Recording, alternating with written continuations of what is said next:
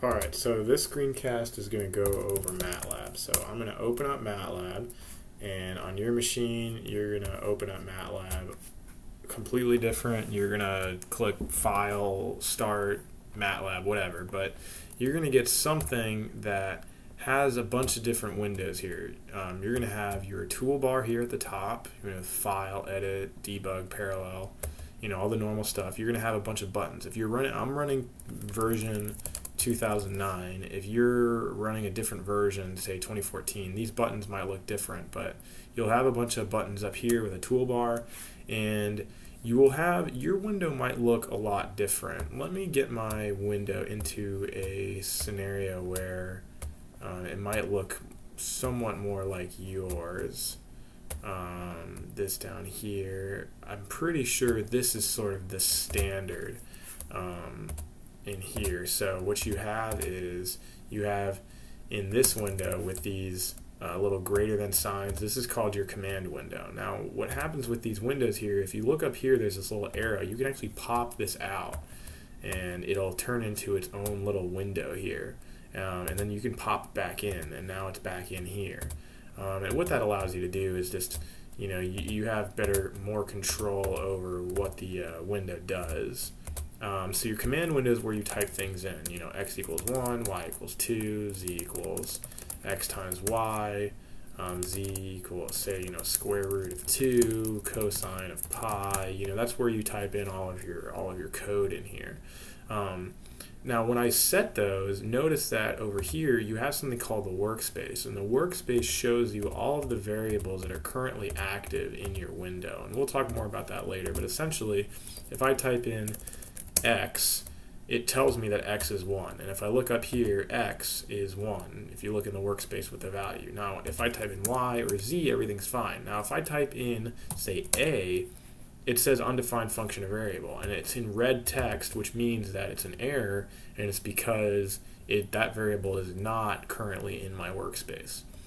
Um, over here is my command history. So if you look here, this is October 23rd, 2014, 2.23 p.m., and it tells me every single command that I've done uh, since I started this tutorial. So I can actually double click um, these command things, or I can drag it over, and I can actually drag over my command. So say I do a really complicated command, like 34 um, squared parentheses times 78 divided by the square root of 2 and then uh, so again it says undefined function method square because that method doesn't exist. So um, I uh, if you um, hit the up arrow you can actually recopy um, the previous function. So I'm to just hit enter. Now that works. So there's my answer.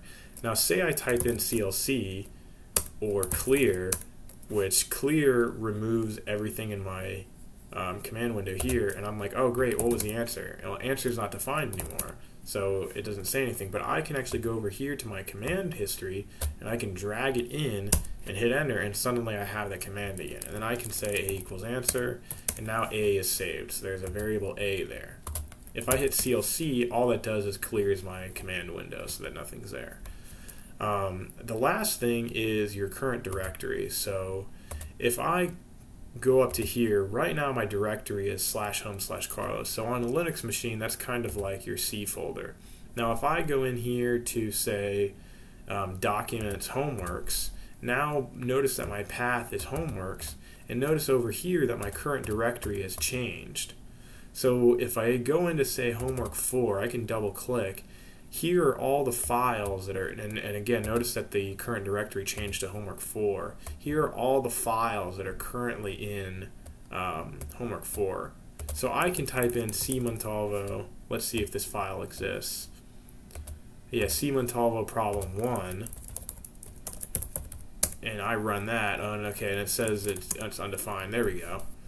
Um, that created this plot here. So if, if I hit Control C, you know, it makes this, it runs this code and generates this plot. So that's because I'm in this current directory. Now let's say that I go back and I go into my current directory and I go to homeworks. Now look at what's in my directory. This full, this function, problem two, it doesn't exist anymore. And the reason why it doesn't exist is because I am not in my current directory. So when you download a file from your computer, from the internet, and put it onto your machine, you need to make sure that you're running the code from the folder. It's called the current directory. If you type in PWD, that stands for present working directory. PWD.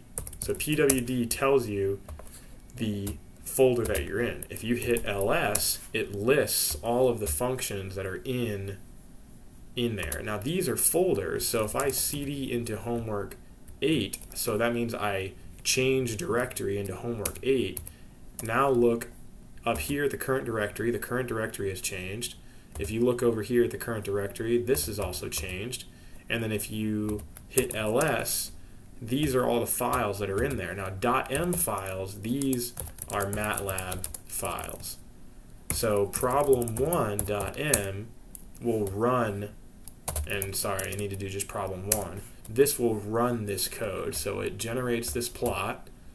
Let me bring this down, and it outputs some numbers. And the numbers are relevant, but the point is, is that if I again go back and go back to homeworks and try to run problem one, it won't work because it doesn't exist. If I cd into homework 8 and I hit ls, problem one, now suddenly the code runs and it generates the plot. Okay, so that was just a basic overview of MATLAB. Uh, hopefully that will shed some light on how everything works. Good luck.